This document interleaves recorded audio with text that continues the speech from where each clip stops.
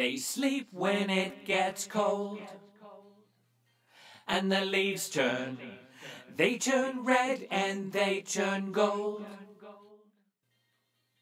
They need sunlight and water and earth and the air to keep them alive. That's how plants grow. That's how plants grow.